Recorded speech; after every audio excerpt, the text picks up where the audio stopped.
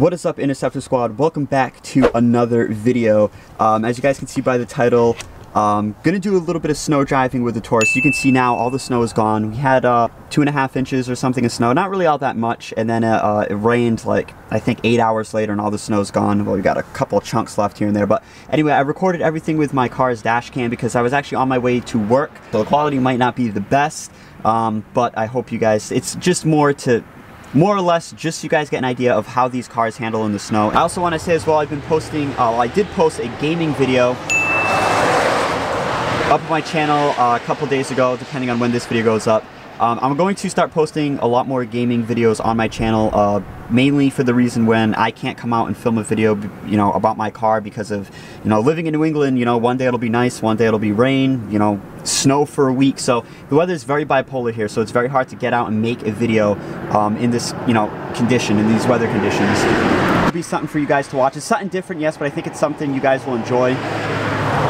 The video that I did post did pretty well, um, and you guys really seem to enjoy it, so I'm going to keep doing that. So you guys might see gaming videos um, come up a lot more often on my channel. I'm going to stop talking. Um, hope you guys enjoy this video. Basically, I just talk about how the Taurus handles in the snow, and like I already said, it's a beast in the snow. But anyway, I hope you guys enjoy the video. Make sure to like, comment, subscribe, and I'll see all of you guys in the next one.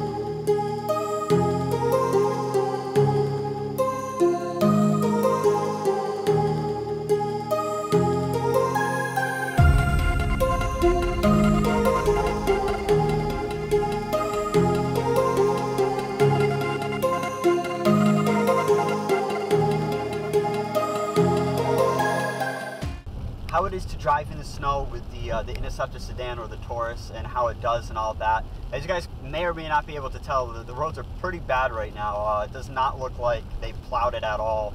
It's definitely got a nice thick uh, layer of snow on there. We didn't get too too much snow, but you could definitely feel it's a little slippery. But um, right now we're going about 27. I've been going around 27, 30 miles per hour. Um, and the Taurus handles very well. I've said it before. Um, it handles very, very well in the snow. It doesn't hesitate um, just like any car, you know, I know some people out there that, you know, they got these big bad trucks and stuff, but it doesn't matter what car you have. It's, you know, you still got to be careful when you're driving in the snow. It doesn't mean, you know, because you have a four wheel drive truck or this and that, that, you know, it, it can't spin out. When I got stuck in my Crown Vic, uh, someone in a Jeep came flying around the corner and he spun out. Um, but yeah, it was, it's, it's but overall, the Taurus handles very, very well. It, it, it, grips good. It's not like the Crown Vic where, you know, even going up this hill right here, I would probably have some issues with the Crown Vic going up this hill. We're going 30 miles per hour up this hill right now, no problem. If I was in my Crown Vic, you know, I would have to definitely go a lot slower and just kind of play with the gas and, you know, inch up that hill. Um, but with the Taurus, it just plows right through. But yeah, absolutely, it handles absolutely well. It does have stability control as well, so, um, which is really, you know, a huge plus when you stop and you take off as well, uh, Taurus again doesn't hesitate at all to you know take off. There's no spin, no wheel spin, nothing. No, I, that, I love it. It's absolutely, I mean, it's such a big difference coming from the Crown Vic. Um, and if you guys have a Crown Vic and you know you live in an area where there is snow, then you guys know what I'm talking about. If you you know you come to a stop and then you give gas to Crown Vic, sometimes you know it'll it'll fishtail, it'll spin its tires in the rear, uh, it being a rear-wheel drive vehicle, and um, you know, it's just awesome with the Taurus. I can come to a complete stop and just give gas. I don't have to worry about fishtailing or the car spinning or hesitating. It's just, it's awesome. Absolutely love it. Especially going up hills and stuff. You know, there's a lot of hills where I am.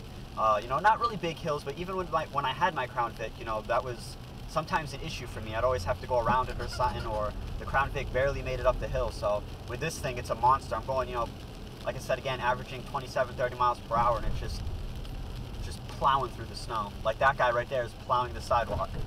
I mean, there are areas where you'll kind of feel it kind of just ever so slightly kind of slide a little bit, but the car kind of stabilizes itself. Very, very, very, very good all-wheel drive system. It's very slushy over here. I'm not sure if you guys will be able to tell it, but definitely going to have to uh,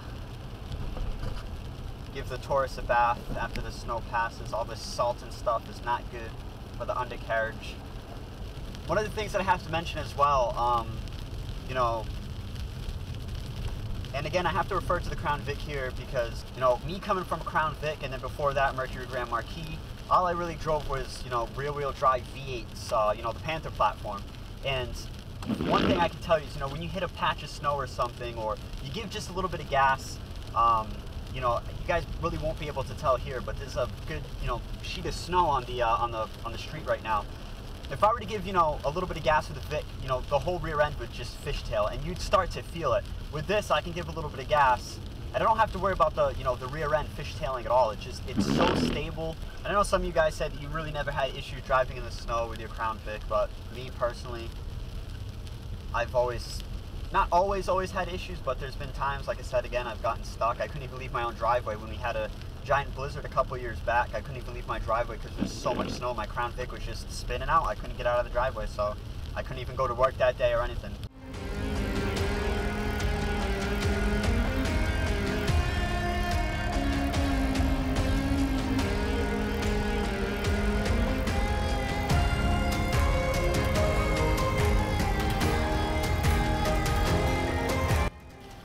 So that uh, that RAV4 that was just in front of me right there, just spinning its tires, you could smell the rubber.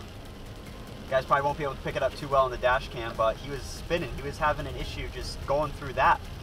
And the Taurus, as you guys just seen, no hesitation at all, right through it.